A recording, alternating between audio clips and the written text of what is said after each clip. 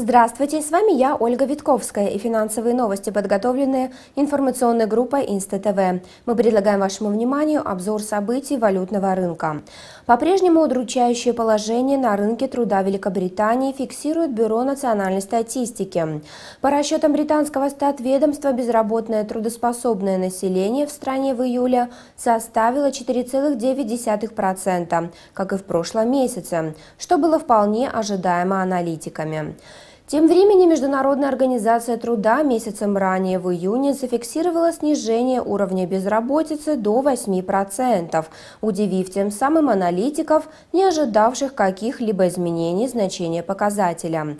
В положительную сторону изменилась и статистика по работающему населению. В июне их число выросло на 201 тысячу. Эксперты связывают увеличение спроса на рынке труда с организацией Олимпиады. Проведение спортивных соревнований мирового значения изменение способствовало созданию в британской экономике дополнительных рабочих мест, и вполне ожидаемо, что августовский показатель также продемонстрирует позитивные изменения. Данные по рынку труда весьма важны для общего состояния экономики Соединенного Королевства. Страна с 2009 года погружается в рецессию уже второй раз. Безработица при этом достигает своих максимальных значений с 1993 года. Основное негативное влияние на экономику Великобритании оказывает кризис крупнейшего торгового партнера еврозоны. В первую очередь страдает промышленное производство и рынок труда страны.